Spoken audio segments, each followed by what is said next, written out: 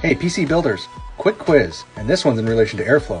Is this case set up to have positive or negative airflow? Assuming we had a glass panel on the side, of course. So we have three 120 millimeter XPG vento fans on the front, each sucking air inwards. And we have two 120 millimeters on the back, each exhausting air out. So one from the top out and one from the back out. An empty fan slot here on the top. And the GPU is currently a blower fan model, blowing and exhausting air out the back.